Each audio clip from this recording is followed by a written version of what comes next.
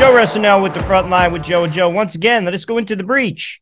Can you say projection, Canada? Roll the clip. Listen very carefully for those who choose to divide or play up fears and insecurities as a way of advancing a political agenda. So here you have Justin Trudeau warning Canadians about himself years ago. Isn't it always the case?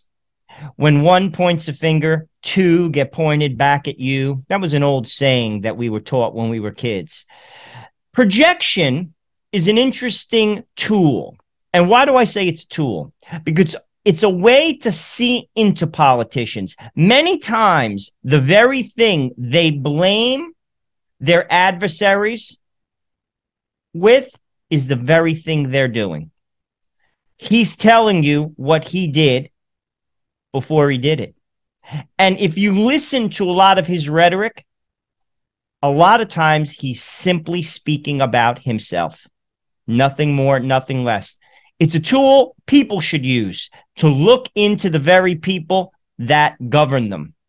Many times they show their cards without even knowing it in plain sight. There's an old saying good for thee, but not for me. I'm going to share with you a little uh, factoid I just read.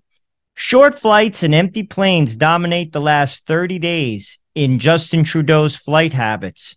Of the 17 flights logged by the prime minister over the last 30 days, 10 were for flights under an hour. What's up with the carbon footprint there, Justin? I guess that only applies to the little people. It's typical. We saw this during the pandemic all across America. Governors telling people they were they should be locked in their homes. Meanwhile, they're recreating with friends. We've seen people getting haircuts. Meanwhile, we couldn't cut our hair, go to the barber, go to the gym. You see, the rules apply to you. They don't apply to them. That is the standard. Count on it.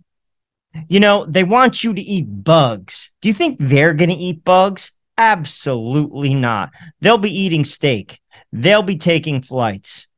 You will not. That's the name of the game. That's how the elites roll.